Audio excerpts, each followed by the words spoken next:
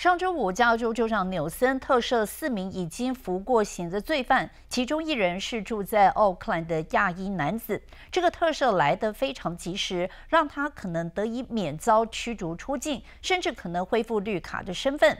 今天的移民崎岖之路专题带您探讨当中的法律问题。古林家的报道。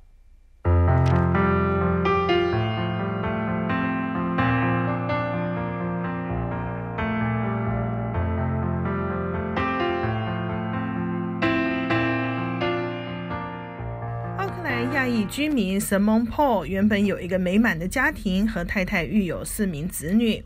他在一九八二年六岁时，以红色高棉难民身份随家人从柬埔寨移民到美国，并取得绿卡。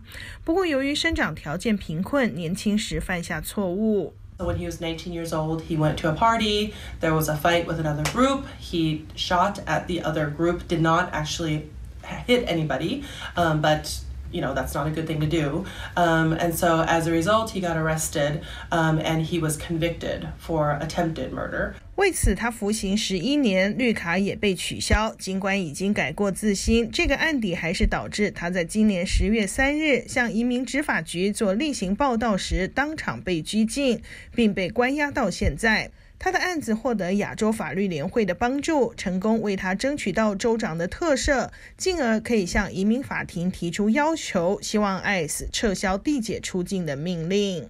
In order to deal with this deportation issue, we asked for a pardon from Governor Newsom.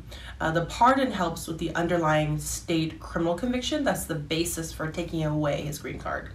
So if they pardon uh, that conviction, then that helps us challenge the deportation, and he'll likely be successful in challenging the deportation, and, and soon, hopefully, will get released from ICE custody.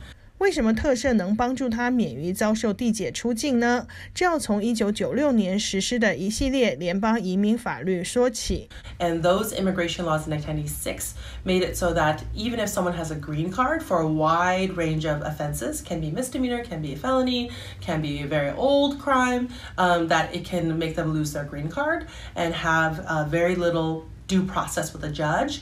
Um, the judges have very little discretion to stop their deportation. 因为有关法律，包括 PO 在内，大批有案底的越南及柬埔寨难民，近期陆续遭特朗普政府下令驱逐出境。不过，由于 PO 犯的是州法，加州州长有权对他特赦，这也使得他丧失绿卡的理由不复存在。打开重新留在美国的管道，可以申请获释、撤销驱逐出境，甚至重新取回绿卡。I believe it's step by step that you have to do it, um, but with a pardon, really, it's very likely that you'll have a successful outcome. 上周五，州长纽森特赦的四人当中，有三人都是面临递解出境的亚裔，特赦有望解决他们的移民案件。